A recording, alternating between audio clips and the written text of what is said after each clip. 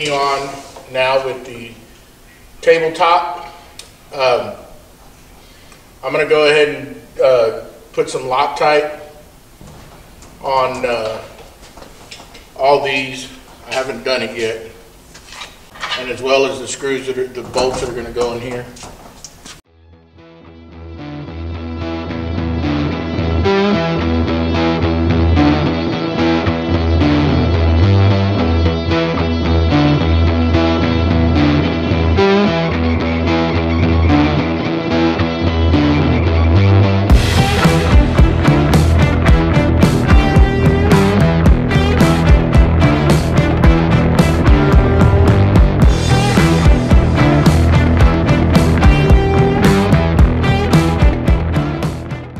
Probably something good to go ahead and get, which is uh, magnetic parts holder. Hold all those little bolts and pieces in there so they don't get lost. And all you're gonna do is just uh, come around here and set all these in and what, what it's getting ready for is uh, for your, basically your tabletop to come in. So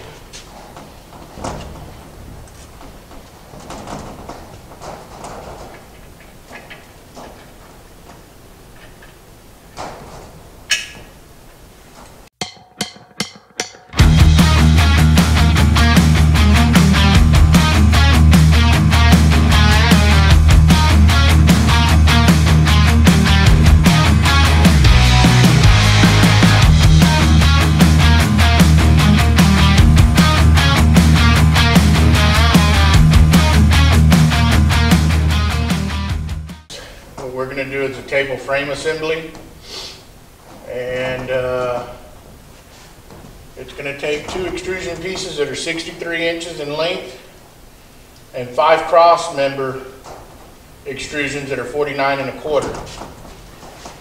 Step one point two point one, frame extrusion, frame extrusion installation, which are your 160 millimeter, 63 inch uh, pieces of extrusion. What you have to do here is basically you're going to slide this in and the other one on that side.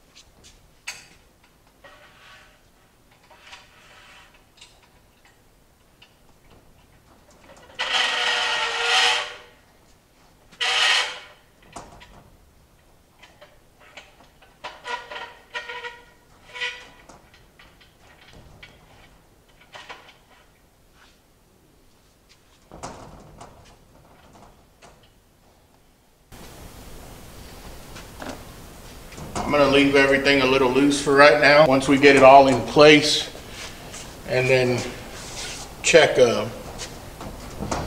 for squareness, we'll start tightening it down.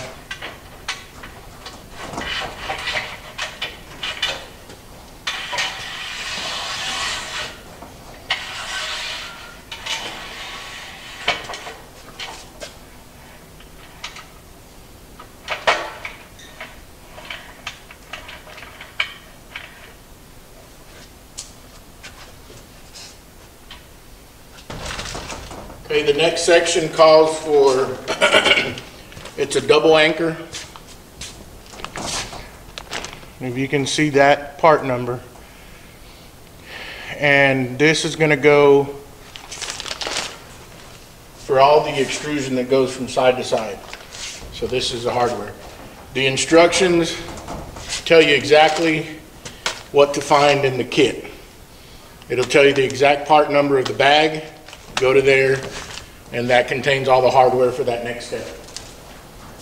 All your parts, your pieces of hardware, go ahead and count and make sure you have everything before you continue. this is the hardware that it's gonna contain, so basically, you're gonna have this sliding T-nut, it's a double one, and then you've got your cap screw and your fastener. So, you're gonna put this, and this'll, it'll be two of them, on, one on each side of the cross member extrusion. So, basically the same concept, how you have a round part and a flat part here. This kind of half moon goes away from the cap, from the cap screw and this fastener.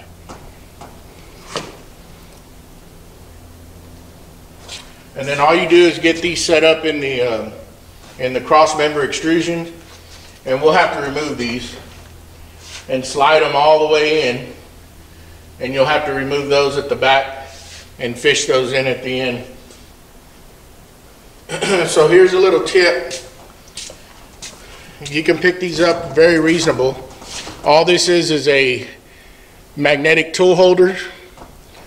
And you can go ahead and just put your bolts on there so you don't have to do it and you can go through and wipe your your medium grade uh, Loctite on there and have them ready.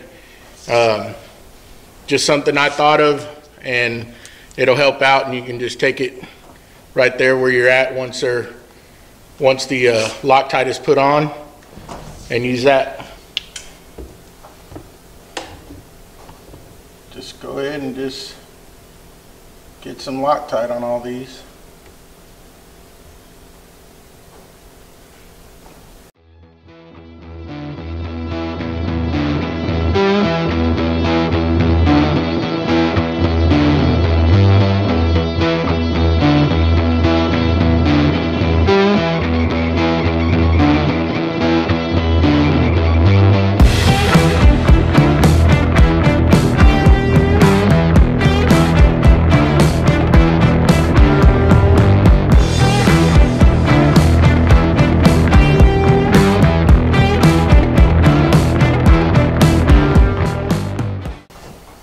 So all you're gonna do here is go ahead and insert.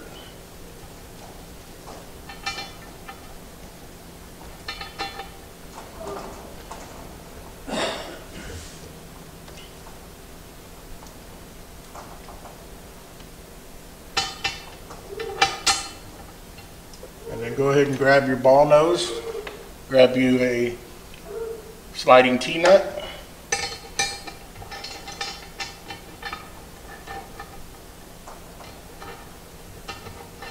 And just get it started.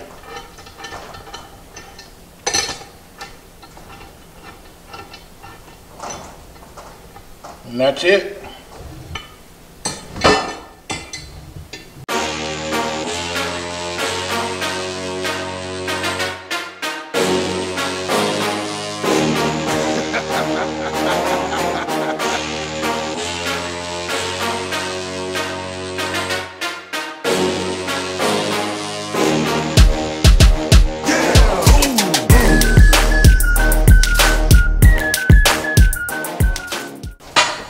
Now that we've got all the uh, rolling T-nuts installed on both sides of the extrusion, then it's simply just come in.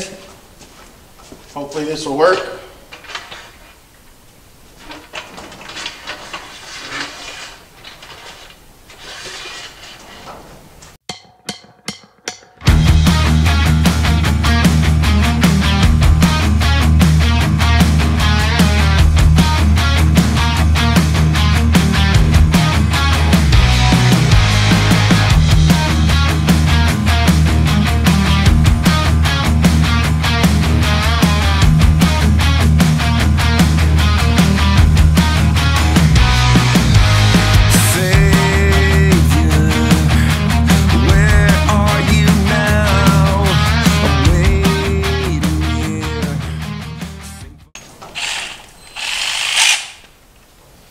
Okay, I'm gonna go ahead and get this face here square and straightened up.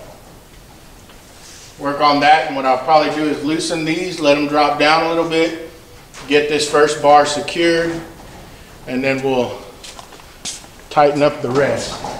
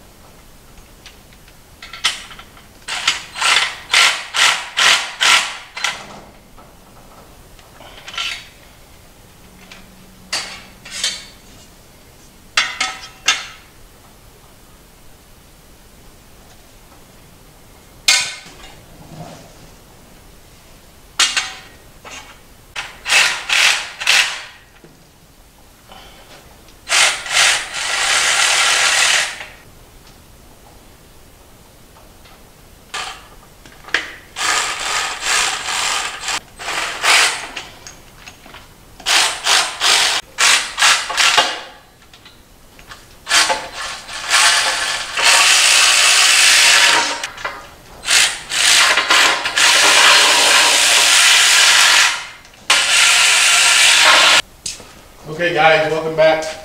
Uh, we got these pieces put on. Uh, I will tell you, I had to lower that down in order to get to these uh, bolts because with this put in place, you can't get in there. So I recommend that, but get you a set of Allen wrench metric. So if you don't want to have to loosen this and lower it back down and then reposition it, the only way to get to that to tighten is with an L Allen.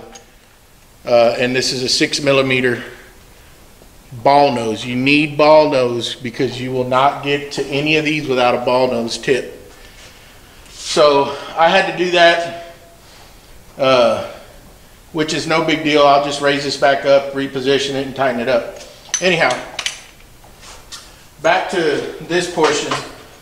Um, we're install, we're installing now the extrusions that go from the side rail extrusions across. And uh, I was just checking, make sure I'm square. In the instructions, this distance from this face to this face is 14 inches, 14 and 3 sixteenths. I highly suggest you go in there and you cut yourself scrap board here and it makes it a lot easier to tighten these up. So you just put these in there and with two clamps, whatever clamps you got, you'll hold the rails uh, identical to both sides.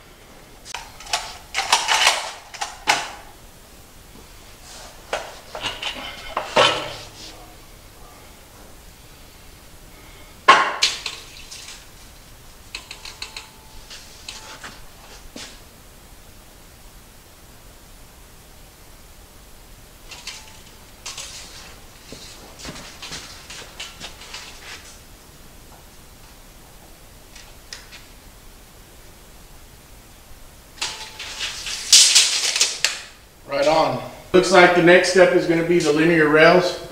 Um, and, uh, we'll get the linear rails put on and just progress in this. Uh, I'm gonna go ahead and lift that, this portion back up off camera. And, um, just make sure you go around and make sure you tighten, make sure you didn't miss anything. Uh, And we'll go ahead and end this one right here. And, uh, we'll come back and get the rest of it. Thank y'all for watching.